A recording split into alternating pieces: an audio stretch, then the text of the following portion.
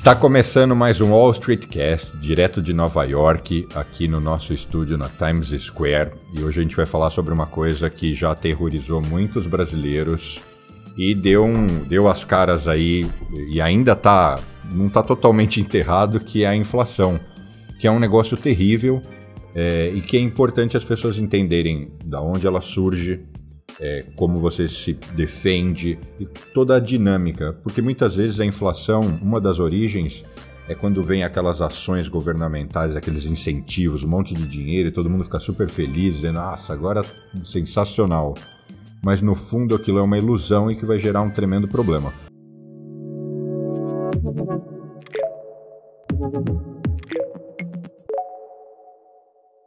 Para bater um papo sobre esse tema, eu estou aqui com dois caras que eu sou fã é, e dois grandes amigos. O Fábio já se tornando meu amigo. Eu já considerei ele amigo, porque eu já assisto o cara há dois anos, então assim que eu vi ele, eu já falei, meu, você já é íntimo. Você não sabe, mas você já é íntimo.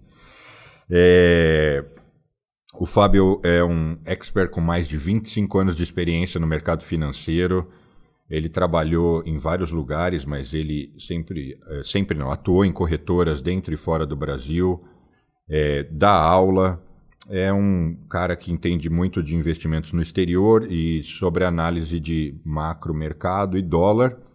Já morou em Nova York, agora está em Miami, mas a gente importou ele. A gente falou para ele: vem para cá passar frio e vamos falar um pouco. Fábio, seja muito bem-vinda.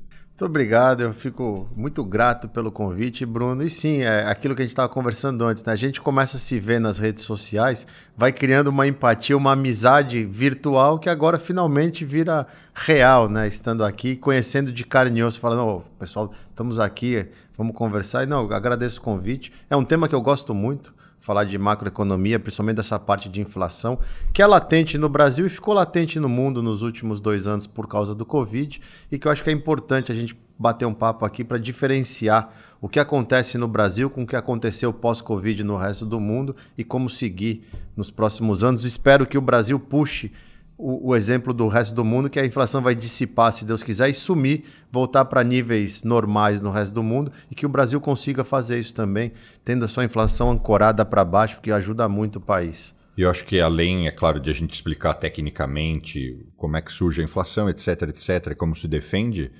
já que esse episódio está saindo no momento que os juros agora assumem uma tendência de queda, é, eu acho que vai dar até a oportunidade de a gente falar um pouco sobre e aí o que, que você faz com o seu dinheiro agora, né? Porque fica todo mundo tá num, num, num de nossa, e agora o que eu faço? E além do Fábio, tá aqui comigo Danilo Santiago, é, meu grande parceiro, amigo, sócio. É, Danilo, eu sempre te apresento, conto toda essa história. Eu às vezes falo, meu, vai ser repetitivo, porque os caras te vêm sempre aqui. Já, é, exato, vai, a gente faz uma gravação, você é. repete, põe aquela, aquela coisa, botar com uma roupa diferente, aparece com outra roupa. É. Mas está ótimo. Eu vou resumir. O, o, Danilo é, um dos, é tido como um dos caras mais respeitados aqui em Wall Street na área de equities, ou seja, é o cara que faz a gente ganhar dinheiro com ações. E ele faz parte aí, eu tenho o privilégio dele fazer parte do meu time de gestores nos meus fundos. Danilo, muito bem-vindo. Mais uma vez, obrigado pelo convite. Né? Não sei se você quer complementar alguma coisa aí do seu histórico ou durante a conversa a gente vai falando, porque vão falar, mas como é que esse cara sabe falar de inflação? É, mas uma coisa que acontece, porque eu acompanho várias empresas e a gente teve um surto, e empresas nos Estados Unidos, né, essas 65 empresas que eu acompanho de forma repetitiva há 20, 25 anos é, dá pra, deu para ver perfeitamente o, o, surto de inflação. E deu também para ver perfeitamente como que a proteção é, natural que a empresa tem em relação à inflação acontece. Todas repassaram preço. E, na verdade, várias delas aumentaram é, suas margens durante um surto inflacionário. Então, é, foi, foi um experimento, na verdade, o que aconteceu aí pós-Covid. Nós vamos discutir aqui a, a razão, pela quantidade absurda de estímulos que foram é, dados para a economia, impressão de dinheiro, que no final é a causa básica de inflação. E, mas ao mesmo tempo, a boa notícia é que você vê que esse ativo realmente se protege. É, é ficou muito claro. Eu acho que a gente, eu acho que é quase que, é quase não. Eu acho que hoje a ideia é uma conversa bem didática, porque a imensa maior parte dos brasileiros, independente da atuação deles, você conversa com um dentista, com um advogado e com diversas pessoas, elas, elas não sabem. Se você pergunta para elas assim, como é que surge a inflação? É, da onde ela vem? É, você consegue identificar, até numa perspectiva política, quais são as condutas que o cara que você está optando eleger ele possivelmente pode ter e que vai azedar o pé do frango? E, em geral, as pessoas não têm essa correlação muito clara, porque não deveria, mas é um é quase que um é um conhecimento mais técnico. Não deveria ser, né? É igual, sei lá, nutrição que a gente estava falando um pouco antes de gravar. Acho que todo mundo tem que saber comer, mesmo que você não seja um bodybuilder. Mas vamos lá. Por que que, da onde surge a inflação? Quem quer puxar aí a resposta? Pode ir, é. vai, que essa é a sua área. Não, inflação, basicamente, é, é, quando você tem uma expansão da base monetária, que, que é a, a, criação de dinheiro, que você, e, e gera excessos. E expansão é, é literalmente quando os, os governos a, imprimem dinheiro. Não só quando o governo imprime dinheiro, porque você até tocou num ponto importante. Quando o governo usa da sua política fiscal para incentivar algum, dar benefícios para alguns setores, ele está gerando, teoricamente, no futuro, uma inflação, porque isso vai ter que ser ajustado. Quando você dá benefício, você também está expandindo uma base monetária, porque você está dando acesso a coisas que vão ficar muito mais baratas por um tempo e não necessariamente isso daqui não vai ser repassado lá na frente. A gente viu já várias vezes isso acontecendo no Brasil, no setor elétrico, por exemplo, onde o governo dava incentivos, fazia as coisas para poder baixar o preço artificialmente. Então, isso no começo era represado, esse custo ficava em algum lugar. O gerador de energia tomando prejuízo, uma hora ele vai ter que repassar isso. Foi o que aconteceu em 2016, no, quando passaram várias emendas no governo da Dilma, se eu não estou era, 2000, era é. Dilma, para estimular o setor elétrico. A conta de luz vai ficar mais barata. Foi movimento para ser eleitoral, para me melhorar a popularidade dela. Até hoje, brasileiros pagam alguns bilhões do rombo dessas coisas. Então, não só a impressão de dinheiro, mas quando você toma medidas que vão criar distorções econômicas por causa de incentivos in em coisas que não vão ser, não vão sumir. Esse incentivo, a hora que ele acabar, o custo vem. Empresário é muito eficiente, como o Danilo falou. Empresário é muito eficiente em investir o recurso porque o recurso é dele. O governo é péssimo em, em fazer essa admissão porque o recurso não é dele. Então ele faz o que ele quer. É aquilo que a gente fala, né? Quem cuida do seu dinheiro, cuida muito bem. Quem cuida do dinheiro dos outros pode cuidar de qualquer jeito, porque não é dele. E o governo acaba cuidando do nosso dinheiro, que é o imposto. E ele não cuida tão bem. E ele usa dessas, dessas premissas para fazer algumas coisas que geram inflação. E uma coisa que é muito importante a gente entender, e aqui nos Estados Unidos isso é muito claro, tanto que desde o começo desse surto inflacionário, toda vez que o presidente do Banco Central americano ele vem a público falar sobre isso, a primeira coisa que ele faz é pedir desculpa para o povo americano. A inflação é o pior câncer que existe para uma sociedade porque ele mata o mais desfavorecido, ele mata a camada mais é a camada que está mais exposta, o pobre, a camada mais fragilizada. Ele, entre aspas, até no Brasil, por causa do CDI, a inflação ela acaba ajudando o rico, porque tem que subir juros e ele vai ganhar mais dinheiro em cima do dinheiro dele. Agora, o pobre, o mais desfavorecido, o mais desconhecido, então a inflação, se olhar com um olhar crítico, a inflação deve ser um crime.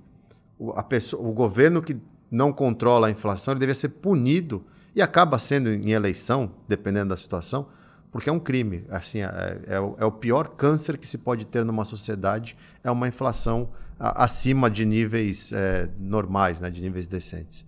Agora, eu, eu como economista, vou, vou trazer uma outra perspectiva. De fato, inflação vem é, prioritariamente por causa de expansão monetária mas em alguns raros casos, mas aconteceu na pandemia, a gente teve sinais claros de que também inflação pode ser motivada e gerada por escassez em algumas cadeias. Ah, ah o, o, concordam, né? Não, o caso mais claro nos Estados Unidos são é, o que acontece em 74 e 79. São os dois choques do petróleo. Então, tem muito gráfico que você vê hoje em dia rodando, fazendo relação do surto inflacionário com 74, como se tivesse para vir um outro. Não, isso aí é uma, uma, são séries coincidentes, que na verdade, em 74, a OPEC se organiza suficientemente para aumentar de forma significativa o preço do petróleo. Ajustado para a inflação, não sei se eu vou citar esse número corretamente, mas é como se o petróleo tivesse uns 200 e pouco, tá? lá em 74. Esse é o valor que eles elevaram o petróleo. E era muito barato antes. Isso se expandiu pela, pela cadeia produtiva totalmente nos Estados Unidos em 74 e 79. É o choque mais claro inflacionário por escassez ou precificação de um produto. Tinha também, os Estados Unidos já estava imprimindo bastante dinheiro nos anos 60, então teve uma colaboração de expansão de base monetária. Mas ali é muito claro né, que foi, foi de uma escassez, na verdade, criada pela OPEC naquela época. Então eu acho que, eu não sei a melhor forma de verbalizar isso, mas a mensagem por trás disso, e que eu gostaria que as pessoas tivessem, é que elas pudessem observar que a gestão de governos, se elas não forem responsáveis, no fundo elas são danosas, porque elas criam um cenário lúdico ali, artificial, de que as coisas estão bem ou estão melhores, ou que eu estou te apoiando, mas no fundo ela está armando a, a, a, confusão né, para o futuro. Inflação ela é uma coisa que não pode se enraizar na sociedade como é no Brasil. A gente tem o que a gente chama no Brasil da inércia inflacionária, porque é uma coisa que já está lá há tanto tempo e já deu tanto problema que ninguém reajusta preço no Brasil pela inflação. Sempre a mais do que a inflação, porque fala, pô, vai cair a inflação, então tem que me proteger. Isso criou uma inércia. Aqui nos Estados Unidos, para a gente não ficar só falando de Brasil, porque vira um, pode virar um debate político, aqui nos Estados Unidos hoje já tem diversos estudos que mostram que o, o principal problema, o não principal, eu vou procurar uma palavra melhor, mas um grande problema que gerou toda essa inflação foi que logo depois, quando o Biden assume já estava com a vacina, já estava tudo melhorando, as coisas reabrindo. Ele ainda veio e injetou 2 trilhões na economia, que era assim, você tem uma fogueira de São João gigante, o cara veio com um balde de querosene e vum. E com dinheiro impresso, e com basicamente. dinheiro impresso, é, com, é? com expansão de base monetária. Criou 2 trilhões de dólares para... E ninguém entendeu naquele momento... Assim, a gente não precisa de 2 trilhões agora, já está tudo muito mais claro do que estava seis meses atrás. E o preço está disso até hoje a gente tem uma série de problemas aqui nos Estados Unidos que foram causados por causa da escassez das cadeias de produção, expansão da base monetária e algumas outras coisas, que é por isso que o americano viu uma taxa de juros que estava em zero, praticamente, a 5,5. Coisa que ninguém, ninguém previu. Ninguém acreditava que os juros ia passar. O pessoal falava em 3, 3,5. Eu lembro que teve uma entrevista, se eu não me engano, do Larry Summers, que ele falou: Meu, 3,75 já é mais do que suficiente. Estamos em 5,5. E com um mercado hoje empolgado, que esses juros podem vir a cair, mas muita gente com medo ainda assim: não é hora de cortar ainda não. Porque a inflação aqui nos Estados Unidos não é que ela caiu, ela só está menos alta. Mas a gente não teve um período deflacionário aqui. A gente está tendo desinflação, que é uma inflação em menor intensidade mês a mês. Lá no Brasil, a gente está cortando juros porque o Brasil teve um período deflacionário, onde se olhava, estava vindo, não tinha inflação. Nesses nessa nessa últimos meses, por, por, isso permitiu o Banco Central falar, eu posso começar a cortar que até as expectativas estão ancoradas. Infla... Aqui não, a inflação ela veio de 7, 8 em julho do ano passado, chegou a 9 em julho do ano passado, só que ela está consistentemente a 3 e ela ainda sobe 0,1, 0,2 todo mês. Então não é que os Estados Unidos teve defla... deflacionário, teve um período de não, ele está tendo desinflação. Ele tem uma, continua tendo inflação, mas em menor magnitude do que lá. E muito ajudado pelo petróleo. É, e até porque, uma vez impresso esse dinheiro, ele fica na economia até o governo recolher esse dinheiro através de impostos. Não tem solução. Imprimir o dinheiro tem que ir para uma conta bancária de alguém. Obviamente, o governo ele imprime e imediatamente passa para algum órgão da sociedade. Desde um, diretamente para o consumidor, chegou cheque. Na minha casa chegou cheque. E depois você, nós fomos taxados todos de volta, né, se você obviamente tem, tem receita. Mas também, por exemplo, eles deram cerca de 75 bilhões de dólares para a indústria agrícola. Enquanto, na verdade, eles se deram muito bem durante a pandemia. As fazendas não pararam, os, os, o produto não entrou em colapso. Teve depois guerra de Ucrânia, etc., aumentando o preço de várias commodities. Então, além de tudo, quando o governo faz esse tipo de, de estímulo, mesmo que ele tenha boas intenções, várias vezes o, o tiro sai pela culatra ou ele sai para o lado errado. Então, os fazendeiros não precisariam ter recebido estímulos porque eles já ganha, estavam ganhando dinheiro, é, uma quantidade suficiente, até acima da média, vendendo normalmente a sua produção. É, só que uma vez o dinheiro impresso, ou você vai lá e taxa esses 75 bilhões de volta dos fazendeiros, ou continua na economia para sempre. E aí os preços se ajustam, isso chama inflação. Né? E, e, só que atrapalha a vida de quem menos pode. É horrível. E como, que tipo de dica orientação a gente pode dar para a pessoa se defender da inflação? Porque ela ainda está aí, né? Menor, mas ela ainda está aí. Para o rico é, é até conveniente, né? Porque, especialmente no Brasil, ele, ele se apropria das altas taxas de juros mas para a pessoa menos privilegiada é um enrosco, né? Não, é, tem, o, não tem muita margem de manobra. Esse é o problema. Esse é o grande problema de um ambiente de inflação alta e por isso que a camada mais pobre ela acaba sofrendo porque ela não tem nem como se defender porque ela está sobrevivendo. A cesta básica daquela pessoa de consumo está ficando mais cara e ela não está gerando renda para conseguir suprir isso. Por isso que vem muito auxílio essas horas é a hora que o governo dá mais auxílio. Aqui é cheque para tudo quanto é lado, não da pandemia, como o Danilo falou, isso foi uma exceção, mas eles têm um bonde, tem o food stamp, tem tudo mais, por quê? Porque a conta do cara não fecha. E, e no Brasil, a mesma coisa.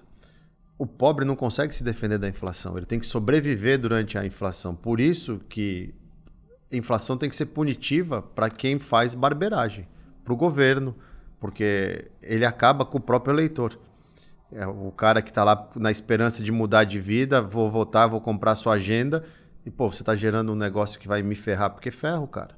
É, a gente tem aqui nos Estados Unidos dados dessa época de inflação que foi nova para o americano. O americano nunca teve, nos últimos 40 anos, uma inflação nessa magnitude, que já estava chegando no nível da, do americano que ganha, em média, 100 mil dólares ano, da conta dele não fechar. E o grande problema nos Estados Unidos é que o americano ele está acostumado a viver alavancado, ou seja, tomar empréstimo para fazer as coisas. Só que aí ele está fazendo um empréstimo num juros altos, porque os juros estão 5,5, para fechar uma conta no momento onde está tudo caro e que a gente sabe que esse 5,5 vai levar a uma desaceleração da economia, onde o desemprego pode subir, por exemplo, e esse cara pode ser um que vai perder o emprego. Então é, é toda uma teia que fica amarrada num ambiente desse que é perigoso. O rico é menos pior. Aqui nos Estados Unidos, se proteger da inflação, quem consegue, é muito simples, que foi o que o Danilo falou. Ele vai para o mercado de ação e compra empresas que conseguem repassar o preço muito rápido. E isso acontece aqui. A economia aqui é muito dinâmica. O brasileiro não entende isso e porque não vive aqui. Quando você vive aqui, você se impressiona de eu saí de casa, passei na frente do posto de gasolina, a gasolina subiu, eu pode ter convicção, vai dar um, dois dias, tudo vai subir um pouquinho de preço no supermercado, você já vê, você sente isso. Eu uso a minha esposa de exemplo. A minha esposa é fisioterapeuta. Ela não sabe nada de mercado financeiro, ela escuta o que eu falo, mas assim, ela não tem o conhecimento. E ela vira para mim e fala: Nossa, mas as coisas ficaram um pouco mais caras no supermercado agora. Eu pergunto para ela: Quanto tá a gasolina? Ela, ah, tá 3,20 o galão. Eu falo: Então a gasolina subiu. Ela, nossa, mas é rápido, né? Agora ela chega em casa e fala, 2,87 o galão, as coisas estão ficando melhor, né? Ela, ela, já entendeu essa correlação, porque aqui o repasse é muito rápido. No Brasil, a gente ainda tem o costume do repasse ser só para cima, demora para cair, porque a gente fica com aquele medo que a inflação não vai cair também. Numa economia dinâmica que nem aqui, você enxerga isso. Então, o que, que o americano faz? Ele já tem esse conceito. Renda fixa, os juros aqui são sempre baixos por natureza, porque a inflação marginalmente é baixa ele investe em ativos que são geradores de caixa e que se reajustam à inflação muito rápido. Ah, o sabonete ficou mais caro, quem que. Palmolive lá, o Procter Gamble. Esse cara já, já repassou o preço, a margem dele está intacta. Sempre tem também, nesses surtos de inflação, é, os impactos perversos, né? Que é o que você falou dessa teia toda de tudo correlacionado, que é um sistema de altíssima complexidade. Ninguém sabe exatamente como essas coisas funcionam. Com computadores que a gente tem hoje, ainda não é suficiente para modelar os sistemas econômicos do jeito que a gente gostaria. Então, tem muito chute né, nesse sentido e, e, e coisas e consequências é, é, não planejadas ou indesejáveis. O que está acontecendo, por exemplo, nos Estados Unidos agora é que, por causa da inflação, subiu os juros, subiu o mortgage. E subindo o mortgage, acontece uma das principais coisas que isso faz é que o preço de uma casa, incluindo juros hoje nos Estados Unidos, está em recorde de alta, no sentido de estar desfavorável para comprar uma casa. Né? Isso não só atrapalha a pessoa a comprar a primeira casa, mas também está segurando toda a, a, negociação de casas usadas, ou existing home sales, que caiu de 6 milhões e meio de casas por ano para 4. Só para você ter um, um parâmetro, esse 4 é até pior do que 2008 2009 se você ajustar para a população, quantidade de pessoas no país. Então você tem um, um segmento enorme da população ou, ou, da economia que deu uma boa, uma boa estagnada e uma redução de atividade, que obviamente gera menos emprego, gera menos recurso, é, porque houve uma variação de inflação que gerou variação de juros que bagunçou esse mercado todo de, de casas nos Estados Unidos. Então não é só o aumento de preço que atrapalha, atrapalha a pessoa que não pode pagar, ela tem também impacto em coisas enormes na vida do americano médio, que é a sua habilidade de comprar e financiar uma casa. E esses solavancos na indústria de construção americana são extremamente é, é, relevantes, porque emprega uma quantidade absurda de gente. Então você imagina o cara que, que o construtor, de repente, familiar, tem ali 30, 40, 50 funcionários, ele vê a atividade dele variando ao longo dos anos de forma acentuada. Poxa, ele tem que despedir a pessoa, aí tem que contratar, não é o mesmo cara, porque ele já conseguiu outro emprego em outra área. Ele tem que treinar o cara diferente. Ora, imagine o quanto de falta de. ou, ou, ou, o quanto que isso afeta a produtividade, o quanto isso machuca a produtividade de um país. Então, inflação, esses, não, não é que se, olha, eu vou repassar, então tá tudo bem. Não, não tá. Porque sempre tem alguma coisa Sim. que fica é, é, fora de balanço e aquilo fica e aquilo atrapalha o dia a dia do país. Não, não há dúvida. E eu acho que já, que a gente estava falando em proteção, né, como se defender, e a grande verdade é que o menos privilegiado não tem muita saída, né? Ele teria que aumentar a renda dele, o que às vezes não é possível. Se você pega uma uma pessoa que já tem dois empregos isso e aquilo, ela não tem muito mais o que fazer. Ou o, o, salário vai ter que ser reajustado ou não, não tem o que ser feito. Mas se a pessoa tem um cenário melhor e falar do ponto de vista econômico, eu acho legal a gente mostrar o que, que, o que, que sobrevive à inflação, né? É, não sei, Daniel, se quiser, que são os imóveis, eu diria que equities é, e negócios. E, e, negócios próprios, é o que eu falo, né? são as três coisas que são reais, que mais comprados de forma correta. E esse é um desafio, né? Porque mesmo ações, você pode estar comprando aquela ação para aquela empresa específica, ela pode estar cara no sentido de que se você é, comparar o que você pagou pelo quanto de caixa que ela vai gerar no longo prazo, talvez esteja desajustado contra você, ou seja, é muito pouco. Então ela está cara. Então você pode comprar alguma coisa que vai tender a, a, a subir menos, pode até cair bastante durante um tempo, e isso não é bom. Negócio próprio, Aí esse é, é, é, tão intrínseco da pessoa, ela, cada um tem o seu, e aí é difícil a gente dizer se a inflação vai ajudar ou atrapalhar. Casas é complicado, porque casas, é, é, é, o preço de casa é outra coisa que você pode medir como que isso se descola ou não de uma linha mais ampla de, de, de inflação, de uma referência de inflação. No momento, desde 2012, até hoje, casas subiram 80% acima de um, índice geral de inflação. É muito. Na, em 2005, 2006, chegou a subir 50%. Quando caiu, quebrou a Lima, que estava aqui do lado.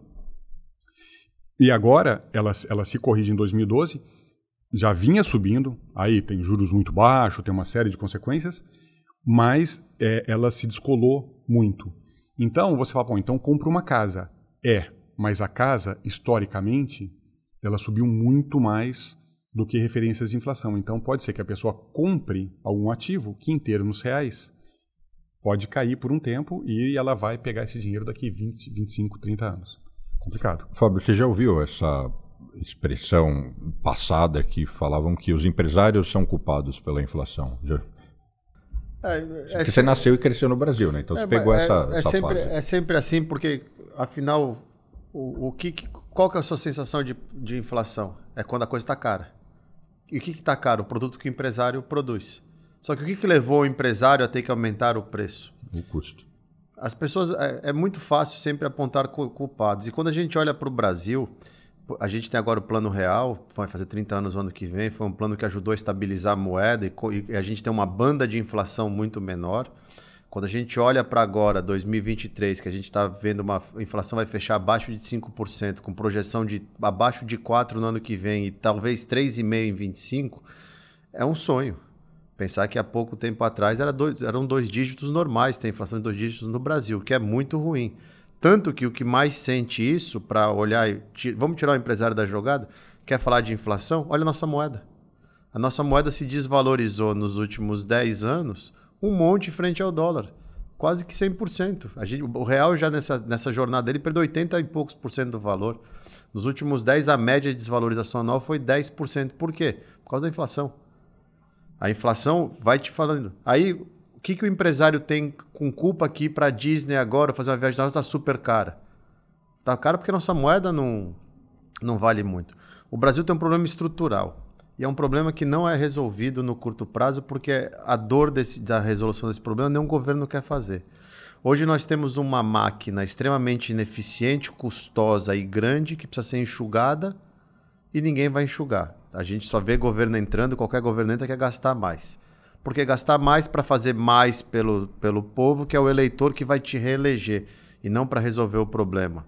Se a gente resolvesse esses problemas de máquina administrativa, eficiência agora com a nova reforma tributária, eu não tenho todos os detalhes, não sou tributarista, mas dizem que a, a estrutura e, tributária no Brasil melhorou muito com a reforma. Agora tem que tirar algumas outros os benefícios, né, que tem muito subsídio e, e melhorar depois a parte total da arrecadação, porque a taxa vai ficar muito alta. Isso tem que, só que isso só vem com eficiência. Você não precisa de 38 ministérios, você não precisa de 415 mil assessores para esse monte de coisa. Então, esse é um problema que não vai resolver. Tudo isso tem um custo. O governo se endivida, vai precisar emitir mais dívida, vai precisar fazer um monte de coisa.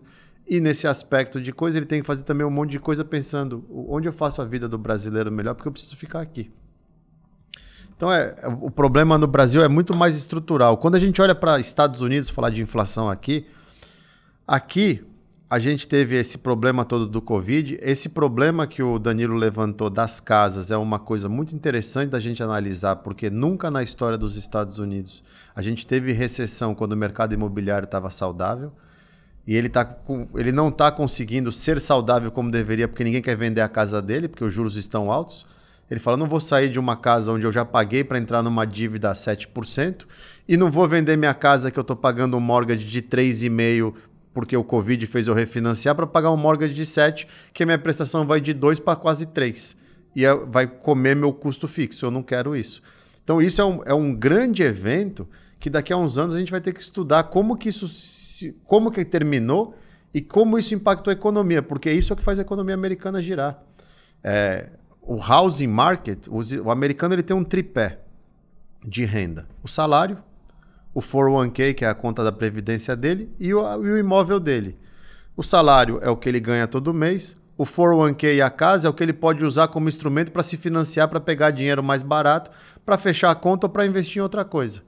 E desse tripé dele, o salário dele é o único que está segurando, porque a casa ele não vai mexer de jeito nenhum agora. O 401k vem de dois, três anos tomando porrada. Esse vai ser o primeiro ano. As carteiras de 401k aqui são 60 renda variável, 40 renda fixa na sua maioria. Não, não é uma regra, mas a média, a carteira é assim. Há dois anos tomando porrada, a ponto de acadêmicos começarem a falar: será que essa carteira faz sentido com as mudanças macro hoje em dia do mundo? De tanta porrada que as carteiras tomaram, porque bolsa e bonde caiu ao mesmo tempo. Que é uma coisa rara. Raríssima. Esse ano, então, assim, toda essa conjuntura, o americano agora vai ter que olhar e falar assim: cara, eu estou endividado com juros altos, eu não vou mexer na minha casa eu estou empregado, graças a Deus, ainda, né? Só que os juros altos levam a, o desemprego a aumentar. E a inflação ainda está 50% acima da média, porque a, a, a, meta, porque a meta é 2, ela está 3. O Fed ainda tem um trabalho a ser feito do seguinte: eu preciso cortar, mas eu não posso cortar agora, porque a inflação não está na meta. E se eu não trouxer ela para a meta, deixar ela meio soltinha, ela pode voltar. Todas as cadeias de produção do petróleo teve lá o problema agora no o canal de Suez está sem água, não conseguem passar por lá.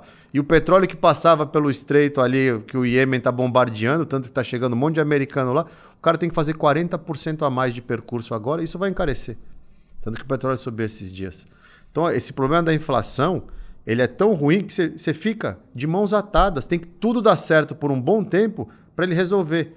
E aqui nos Estados Unidos, quando tudo estava dando certo, aí o Iêmen vai lá, bombardeia um navio, fecha um canal, aqui ninguém passa. Só de ter que aumentar a distância, o petróleo subiu 5% em dois dias. E é ele o que vai gerar mais inflação. Não agora, lá na frente. Porque tem um, um prazo né, entre o que acontece e a inflação vir. Então, para o americano, vai ser muito interessante ver na história como a gente vai resolver isso. Mas ele se protege comprando, na sua maioria das vezes, a casa que é dele e a bolsa, investindo em ações. É porque, na verdade, o sistema econômico, inflação, fazendo parte, é, é, é um sistema extremamente complexo e instável. Não é que eu falo? Sistema estável é o quadro pendurado na parede com lá firme que você dá um tapa nele, ele volta para sua estabilidade. Sistemas instáveis é uh, o sistema econômico. Se você chacoalhar, ele entra em shutdown. Então é extremamente complicado e, e, e você não deveria nunca, como um governante, é, é, chacoalhar muito o seu sistema econômico. Quando você começa a ter todos esses movimentos de petróleo, de impressão de dinheiro, você está colocando ruído no sistema. E, na verdade, era para o dinheiro de uma economia, juros, ser uma graxa, né, para que tudo funcione bem. Mas não é a parte fundamental da máquina. Né? Não pode ter demais que entope alguma coisa, de menos trava tudo. E o que a gente passou por esse período agora foi de instabilidade na quantidade de graxa. E aí tem coisa que escorrega demais, coisa que não deveria, e isso atrapalha o dia a dia da economia. As coisas estão se estabilizando, mas ainda tem distorção. O que eu vejo hoje, o mais, o mais é, é, é, é extremo disso tudo, foi refletido no preço de casas. E a segunda coisa também, que eu acho que isso é o grande desafio para a inflação no longo prazo, é a quantidade de dívida dos governos. Porque o desafio é como é que os governos vão pagar essa dívida. Porque ele tem que taxar a sua população para recolher esse dinheiro e anular essa dívida. Só que o processo de recolher impostos é desestabilizante também. Então, hum, é, é, um, é um momento de desafio global. Tem muita dívida dos governos, juros muito baixos, deixou o governo americano muito confortável em aumentar a dívida, ele não tinha que pagar muito, muito juros. Veio inflação, juros aumentou, agora a dívida já está consumindo quase um terço da, do, da, da, da, receita americana, está indo para pagar é, juros. Ou seja, começa a ter um monte de coisas que não estão ainda resolvidas. Né? Então é, uma, é um desafio que nós vamos ver historicamente o, aonde vai acabar essa história, mas ela assim, ainda está bem longe de acabar. Só os governos para combaterem a inflação? Eles são a ponta do iceberg se o governo é eficiente, faz a tarefa dele direito, é bem mais difícil ter inflação. Você vai ter inflação numa disrupção, num problema focado que nem seca. Pô, teve seca, na, teve lá agora na safrinha foi seca. Perde-se safra, você tem. Eu tinha que produzir 80 para alimentar 100, eu só produzi 40. Vai, vai ter que subir preço, porque você tem muita demanda para pouca oferta. Então, esses fatores influenciam.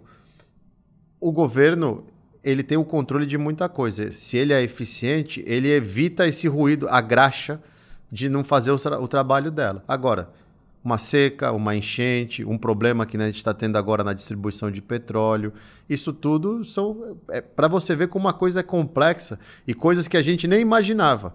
Uma gripe na China virar uma pandemia do jeito que virou e fazer tudo isso. O mundo hoje é inteiro conectado.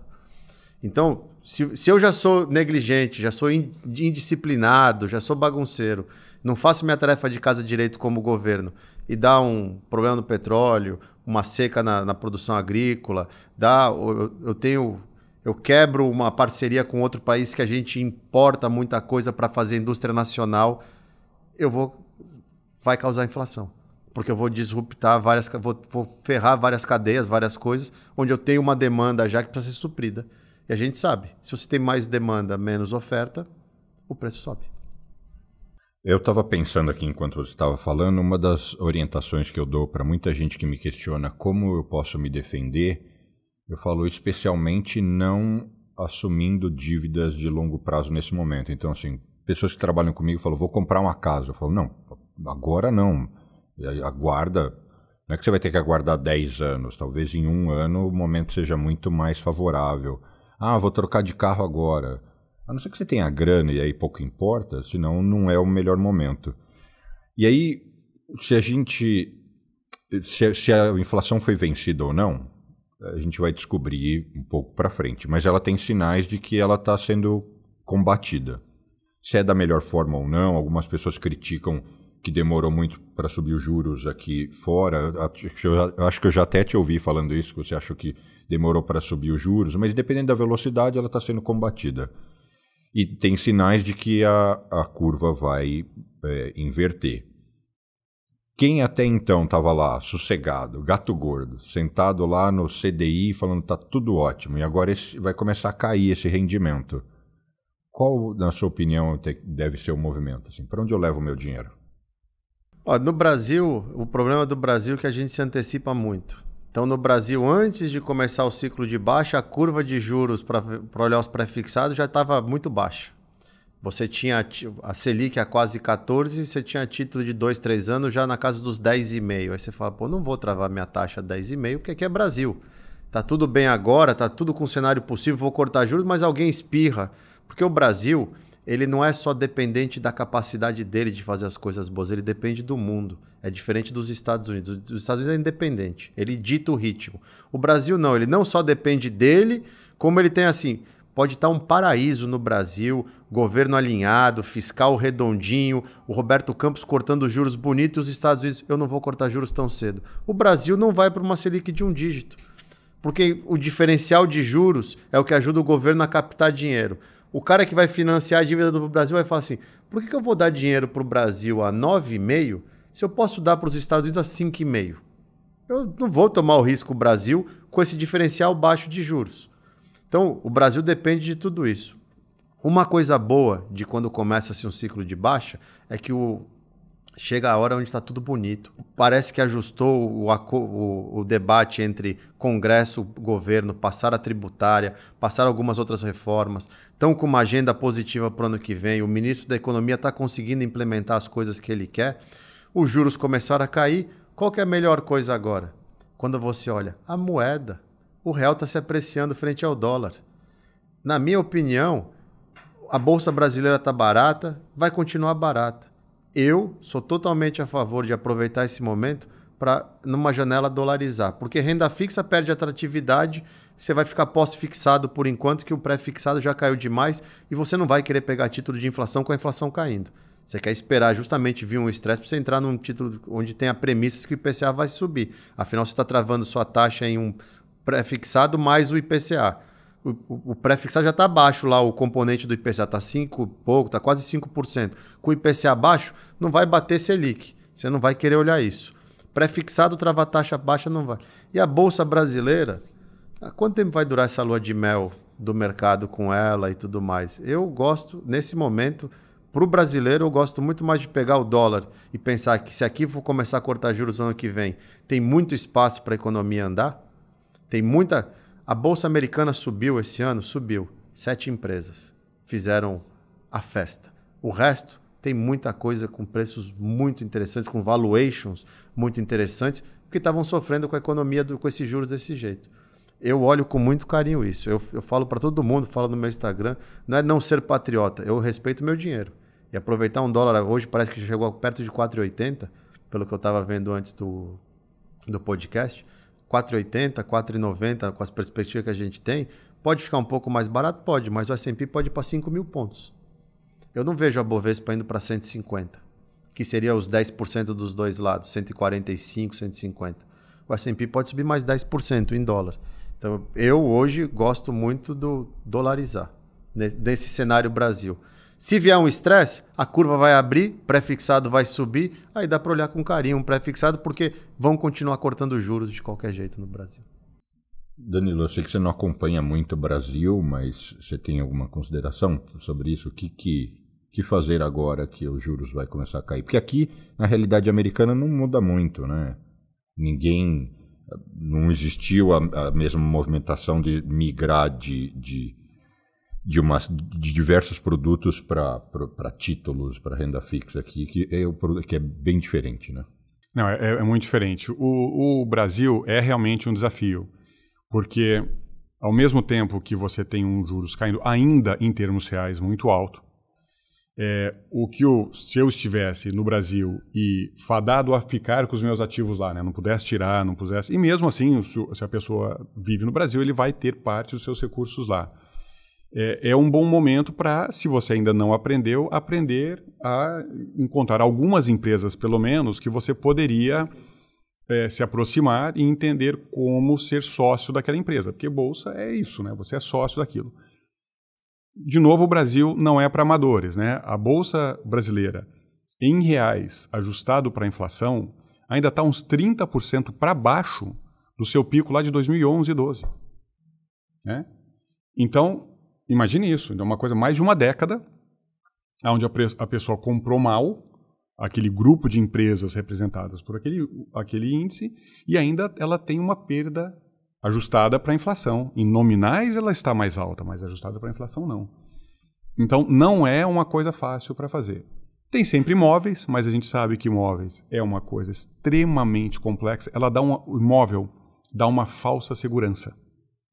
Porque você acha não você, bom, você vê o imóvel, mas a sua capacidade de ter informação de preço e valor daquilo ao longo do tempo é muito ruim.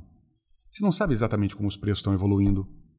Você, quando você está comprando, você não sabe se aquilo está tá muito mais alto do que já foi há dois, você três tem que ter anos. uma tremenda expertise. Exato. Então, se você não tem, você provavelmente vai fazer alguma coisa errada. Então, enfim, é desafiador. Investir, eu acho que na verdade é isso no final, né? Investir é super complicado. E a hora que você coloca inflação alta no jogo, piora ainda mais. Porque aí o seu erro, ele é punido pela, pela, pela inflação. Fábio, qual, quais seriam suas considerações finais? Você acha que a gente deixou de abordar alguma coisa em relação à inflação que é importante as pessoas ouvirem? Uma das coisas que, é, que eu acho importante as pessoas terem consciência é, primeira coisa, é você viver dentro da sua realidade, ou seja, gastar menos do que você ganha e ter, além de uma reserva de investimento, de reserva de emergência, ter investimentos. Que a melhor forma, ah, mas o mais necessitado, eu entendo, mas existem janelas como agora que todo mundo vai conseguir guardar um pouquinho de dinheiro. É importante a gente ter esse hábito, guardar dinheiro e investir. Porque num ambiente inflacionário, você tem uma reserva de emergência, você tem investimentos, mais ou menos você está um pouco mais protegido ou você tem massa de manobra. Você tem da onde pegar um dinheiro para passar por esse momento mais difícil, porque em momentos de inflação alta também não tem emprego sobrando, que seria a segunda renda, entendeu?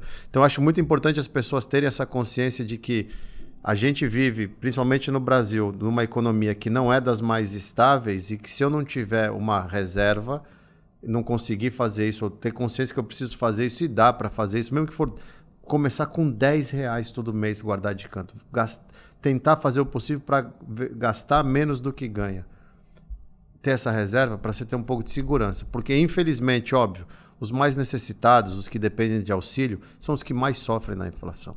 Porque a conta dele não fecha, tudo fica muito mais caro, ele tem que abrir mão de insumos básicos. Isso é, é muito triste, por isso que a inflação é muito ruim.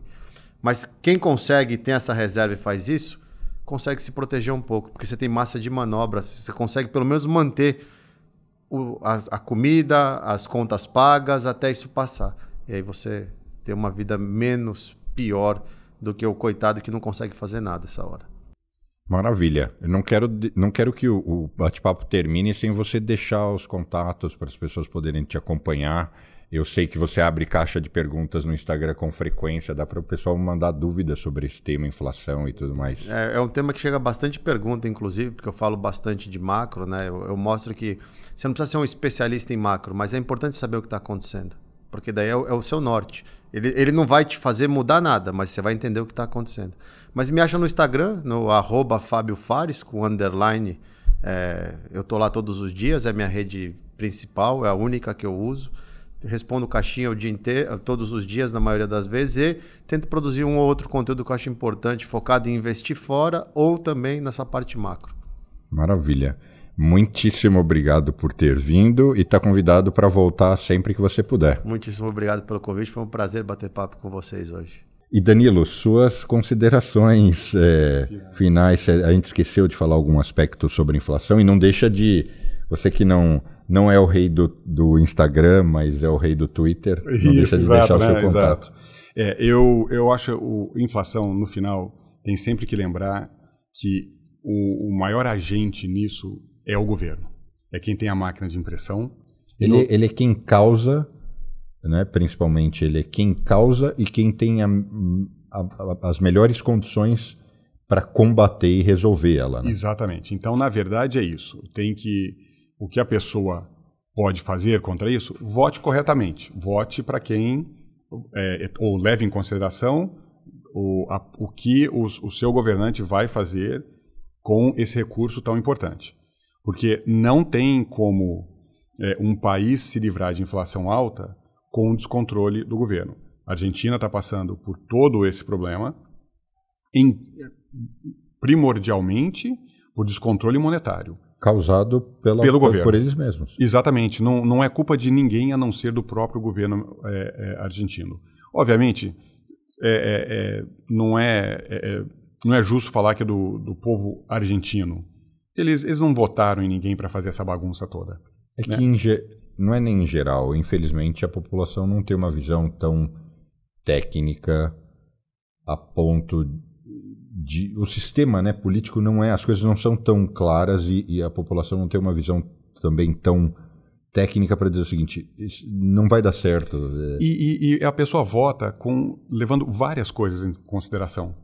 né? No, no entanto, na Argentina, inflação, controle do gasto do governo deveria estar como sendo o primeiro.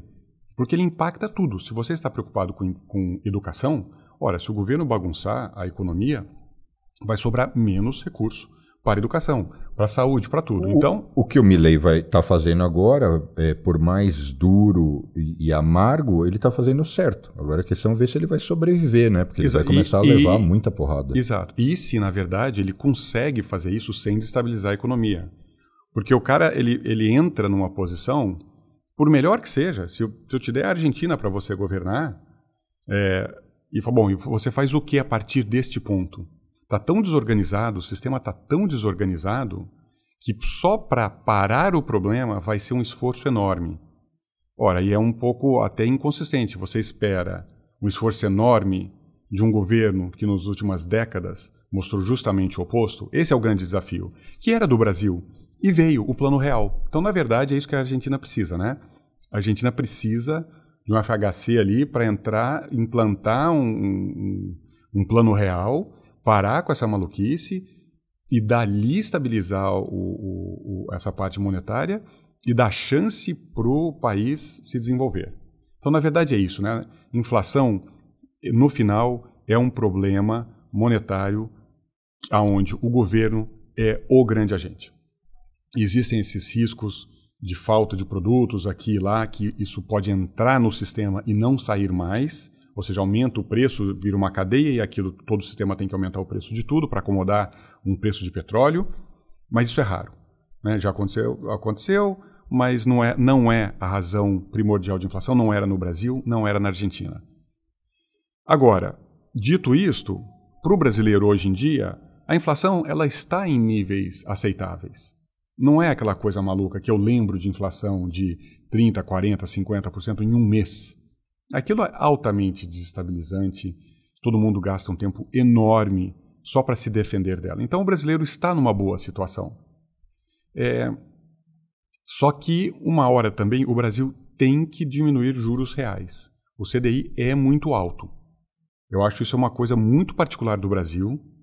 Não ajuda o, o país a desenvolver a cultura de investimento, porque se sobram negócios próprios, e empresas para investir quando tem inflação, ora, se o CDI estiver muito alto, o seu incentivo realmente diminui muito. Né? Então seria bom. Sim, você não precisa fazer nada. Não precisa fazer nada e ganha lá. dinheiro em termos reais. É. De novo, mais de 10 vezes desde 94 deixando dinheiro no Só banco. Só para traduzir para o pessoal, quando a gente fala, né, não precisa fazer nada.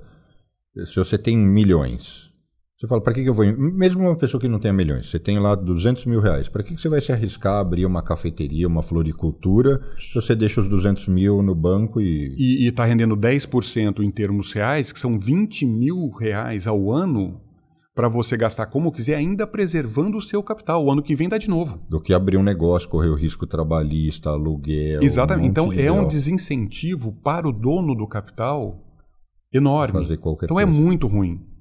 Eu não sou economista, mas eu particularmente acho que o Brasil sempre exagerou nos juros reais. Ele deveria, ele deveria experimentar diminuir isso para ver o que acontece, porque pode ser que não aconteça nada e incentive outros, outros, é, outras partes da economia. Agora, então isso quer dizer que o brasileiro, ora, prepare-se para o dia que o Brasil não puder mais pagar esses juros, porque é, ele é muito oneroso. A dívida do governo brasileiro também aumentou. É, então, juros altos é muito mais complicado para se, se sustentar ao longo prazo, é, porque, por enquanto, o seu dinheiro está lá no caixa, no, no, banco, ganhando em termos reais.